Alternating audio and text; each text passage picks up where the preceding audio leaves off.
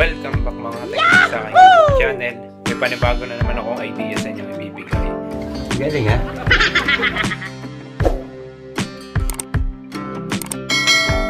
Ngayon mga technique, tuturuan ko kayo kung paano nyo malalaman kung palit ang LCD na bibili nyong cellphone. Kaya mga technique, tapusin itong video para matutunan nyo. Ito na mga technique, simulan na natin. few minutes later.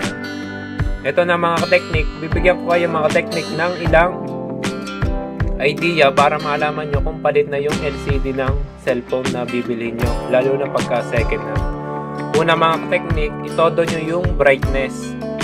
Yan. Pag naitodo nyo ng mga technique yung brightness, pumunta kayo sa medyo madilim na ano, na area. Tingnan nyo dito sa gilid kung may ilaw siya. Pagka may ilaw siya dito or kawang, makikita nyo naman dito kasi yung liwanag, ibig sabihin palit na yung LCD niya. Yan. Checkin yung palibot. Pag may nakita kayong ilaw, kumakawang dito sa LCD, palit na yung LCD niya.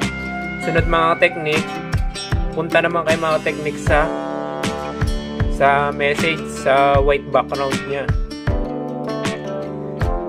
Yan, i-back nyo lang. Dito mga technique sa pure white background na niya, pagkapalit ng LCD, minsan may nakikita kayo ditong white spot. Yung hindi pantay yung pagkaputi niya dito sa ibang kulay ng LCD yan. Yung iba kasi para hindi mahalata, hindi ko naman nila lahat, ginagawa nila dina-dark mode niya. Yung binablock nila yung background. Yan. Yan mga technique. Hindi niya na, hindi na makikita yung white spot. Pero kung checkin nyo yan at i-white eh, o off nyo yung dark mode, makikita nyo kung may white spot. Sunod mga technique, dito sa baba niya, pagka pinisil-pisil nyo to, pagka medyo nalubog, palit na rin ang LCD nun. Ito mga technique, hindi to nalubog pero palit ang LCD nito. Walang white spot, walang ilaw dito sa gilid. Yun na lang ay kumbaga, senyalis na lang yun sa mga bago pa lang nagpapalit ng LCD or hindi pa sila masyadong sanay, nangyayari yon Tsaka mga technique, pagka lumabo mga technique yung front camera, minsan kasi mga technique, pagkapalit na yung LCD, nalabo yung front camera nila. Minsan back, lalo pagka mga Vivo, Samsung, yan, madalas lumabo yung front camera nila pagka napapalitan na ng LCD. Tsaka mga technique, yung